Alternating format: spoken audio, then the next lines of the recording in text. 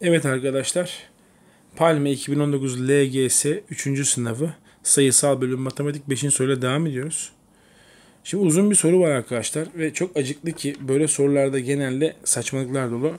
Şuraya kadar hiçbir e, önemi yok. Şuradan sonra başlayan soruyu okuduğumuzda en asal sayı olmak üzere falan filan ifadesinin sonucu olan sayı çift mükemmel sayıdır. Evet. Bu algoritmaya göre en eşit 3 için elde edilen çift mükemmel sayı hangisidir?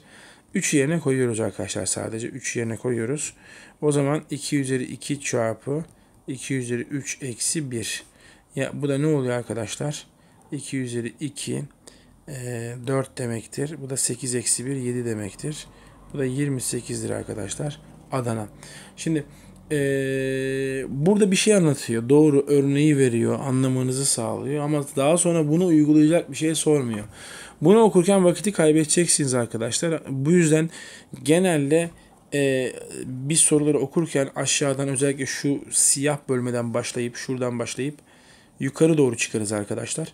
Bu yukarı çıkışta yani baktınız çözdünüz çok kolay geldi ulan da deyip bir bakarsınız böyle buraya. O zaman da anlarsınız ki haklısınız ama gereksiz vakit kaybetmiş olursunuz.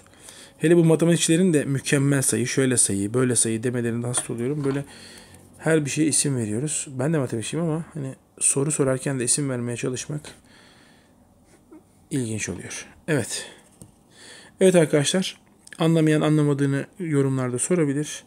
Ee, lütfen abone olalım, beğenelim ve paylaşalım.